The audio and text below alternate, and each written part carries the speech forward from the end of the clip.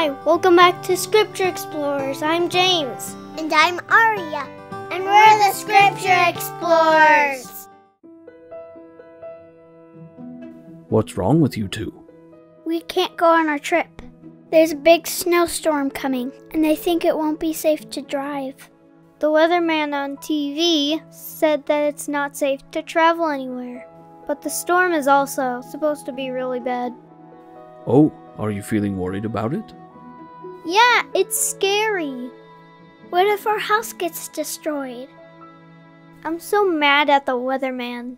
He ruined our trip and scared us. I hate him. That's a hard thing. But it's not his fault. Did you know that?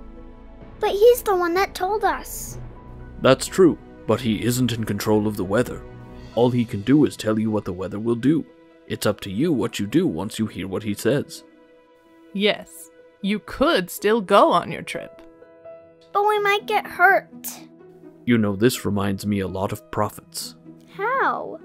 The prophets aren't the ones who make decisions, they aren't the ones who are in control of things, but it is their job to warn the people of the dangers that may come. They are often shown visions and receive special revelation of what they should teach. There were many prophets, for example, who taught that Jerusalem would be destroyed if the people didn't stop being wicked.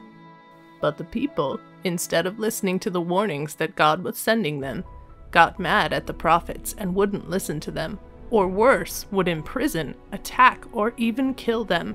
There are three prophets whose writings seem to be a little like the storm warning you've heard. Their names were Nahum, Habakkuk, and Zephaniah. Whoa, what crazy names!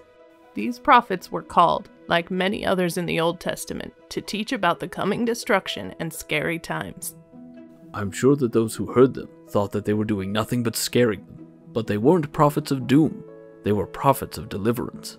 They were there to help prepare the people for the difficult times and to urge them to return to Heavenly Father so they could be saved from the coming destruction. And it's important to listen to the prophets in your day too, so that you can be prepared for difficult times.